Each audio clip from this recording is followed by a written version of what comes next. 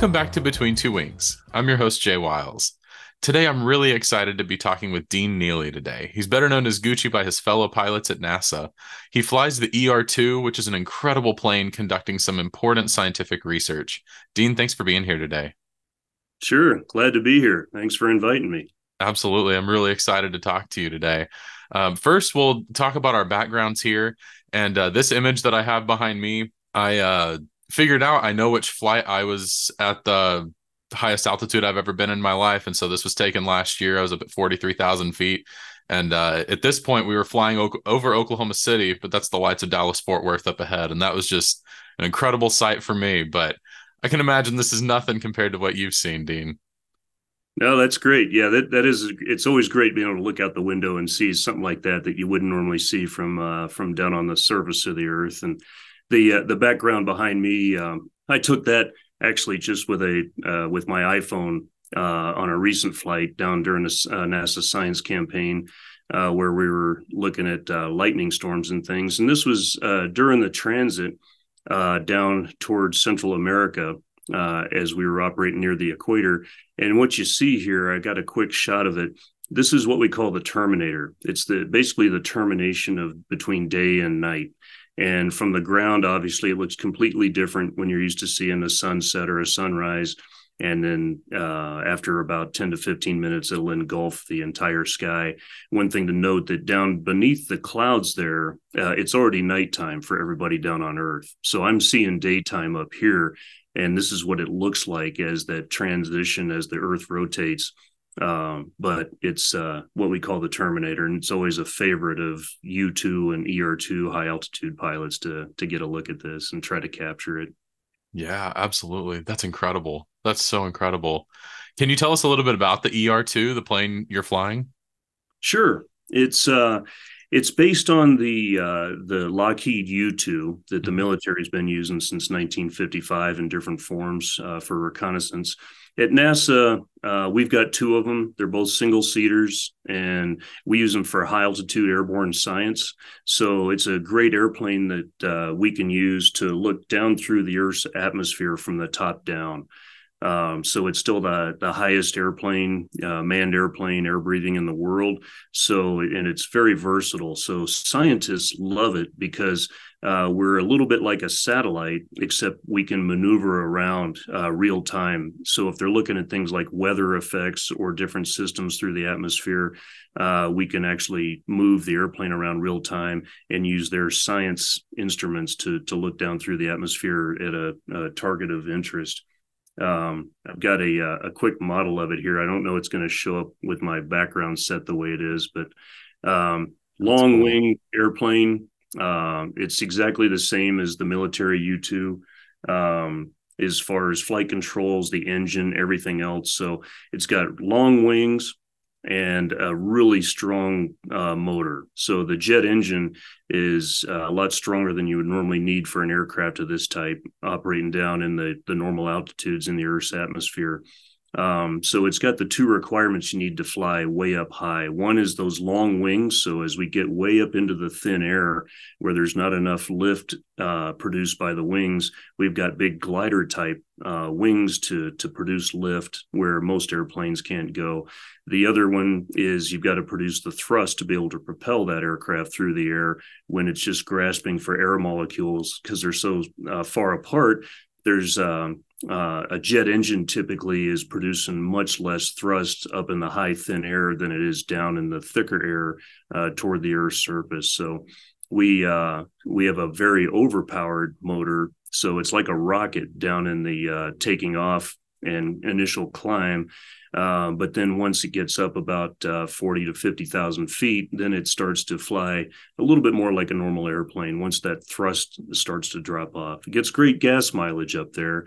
It burns less uh, fuel at full power up at 70,000 feet than it does sitting in idle at uh, sea level.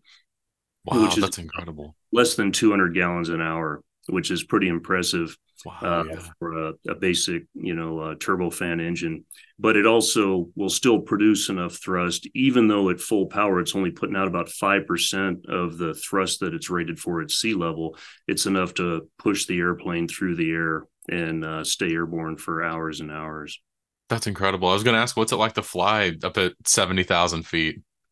Uh, it's amazing. That's um, so it's a it's a it's a great. It, you, you always have to stop and take a deep breath when you're up there in this environment, and really appreciate uh, the the privilege that it is to be there. It's a unique environment. It's in a small cockpit, which is uh, might bother some people if you have claustrophobic issues. Uh, you're in a spacesuit. Um, so you can't move. Uh, you go, we're in there for nine hours or more, where you not only can you not move your arms and legs much, but you also can't scratch your nose or anything like that. so it can drive you crazy if you if you don't control your thoughts that well. Um, but it's uh, I enjoy it. In fact, I've got an old one of the old gloves that we wear here. So we're in the full pressure suit and so, one thing that's unusual in that environment, um, as soon as they integrate you into this uh, suit on the ground, um, it slowly takes away all of your senses. So, things that most pilots wouldn't have to consider, uh, things like sight, smell, touch is a big one, and things like that.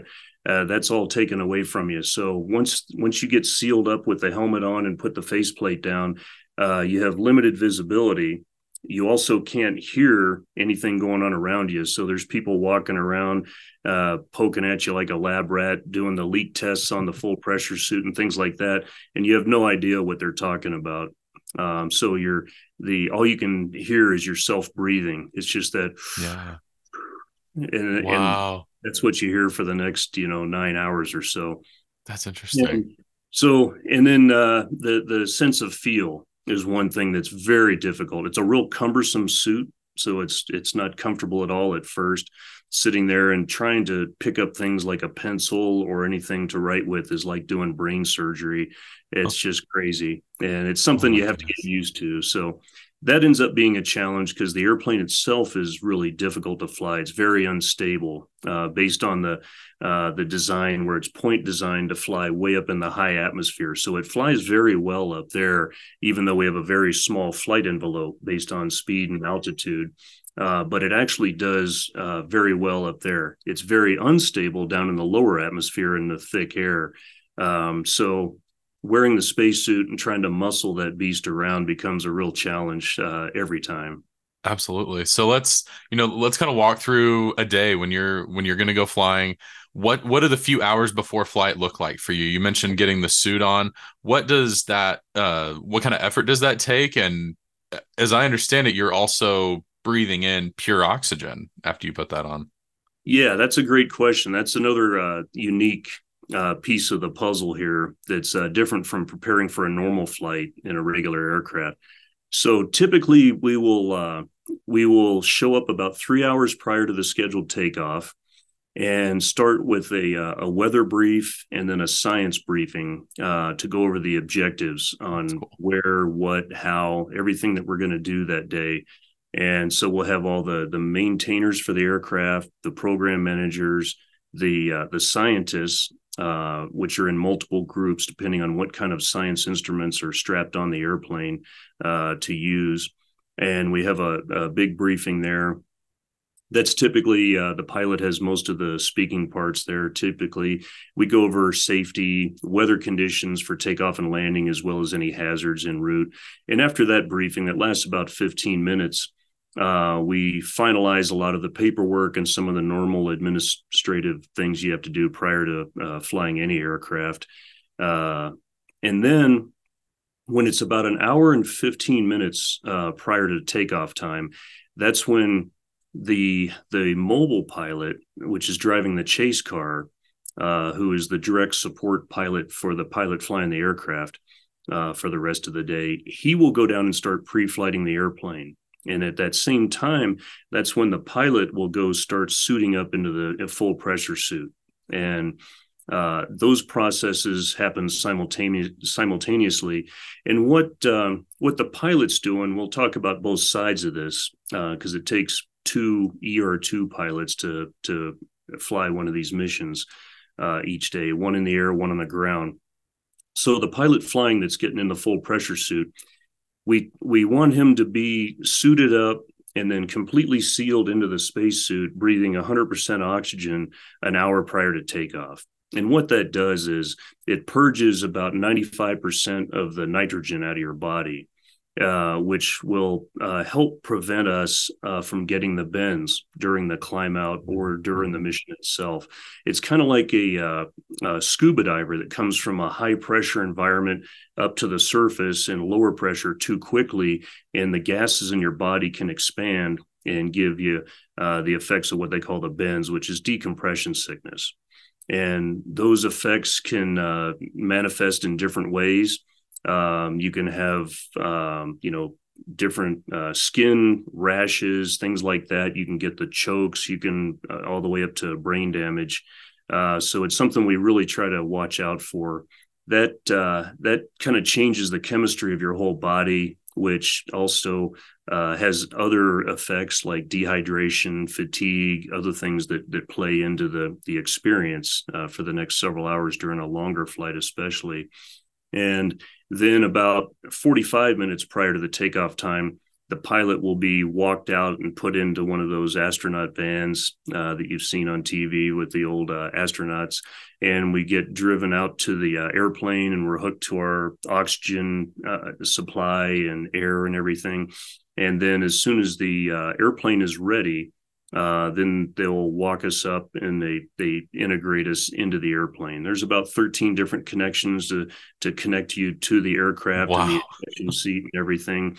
So it takes two of the technicians uh, a little time to go over, make sure they do another set of leak checks and inflation uh, on the spacesuit and everything. Make sure all the backup systems are ready and then they will switch places and actually one guy reads the checklist while the other technician is checking his homework basically and because it's it's life and death you can't afford to make a single mistake there yeah. um, the other piece the the pilot that's uh, that's going to be uh, the mobile pilot we call him uh, while the pilot's suiting up in the spacesuit the other pilot uh, will drive out in a chase car and take all of the equipment that the pilot needs in the cockpit uh, out, set it up in the cockpit, do the exterior and the interior inspection, uh, checking all the aircraft systems, the avionics, everything else, um, putting all the flight plan information into the computers, and making sure the airplane's ready to go. Because these are things that a guy in a full pressure suit can't do.